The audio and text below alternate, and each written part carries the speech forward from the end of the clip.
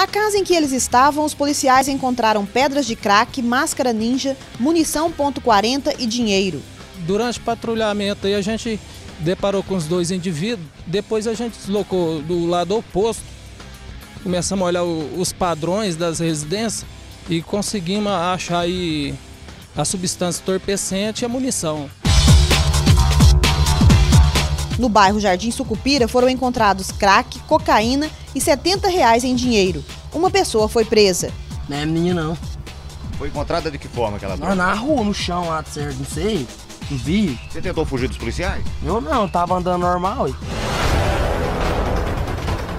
Na Avenida Monsenhor Eduardo, um homem foi detido com pedras de crack e 10 reais trocado. E com o passageiro, que seria o cliente, foi encontrado aí as cinco pedras de crack.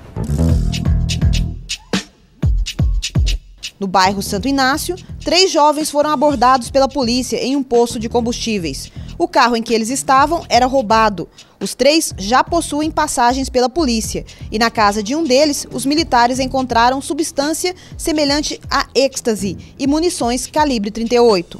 E durante diligência, a gente conseguiu localizar um carro roubado, abandonado dentro da residência. E na casa de um dos autores foi achado também essas munições e os comprimidos.